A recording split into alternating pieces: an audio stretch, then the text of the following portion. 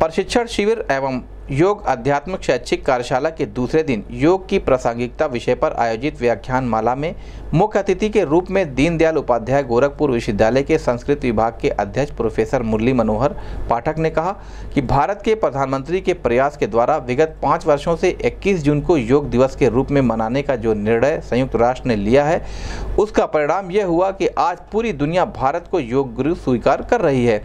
पाश्चात्य देशों का योग के प्रति आकर्षण होने से आज का नया भारत भी पुनः अपनी प्राचीन संस्कृति और विरासत की ओर लौट रहा है। आज संसार का प्रत्येक मानव त्रिविध दुख से संतृप्त है। इन तीनों दुखों से निवृत्त का मार्ग योग दर्शन है। विशिष्ट अतिथि के रूप में गोरक्ष पीठ के प्रधान पुरोहित आचार्य रामानुज त्रिपाठी ने कहा कि योग का अभ्यास करने से जीवन को सुखपूर्वक जीते हुए जीवन के अंतिम क्षणों में भी इसी योग के द्वारा स्वेच्छा से शरीर का त्याग भी किया जा सकता है। अध्यक्षीय उद्बोधन में गोरखपुर मंदिर के प्रधान पुजारी योगी कमलनाथ ने कहा कि आज दुनिया योग को अपनी जीवन शैली बनाने के लिए कटिबद्ध है। इस अवसर पर doctor Rohit Kumar Mishra, doctor Avinash Pratap Singh, doctor Digvijay Shukla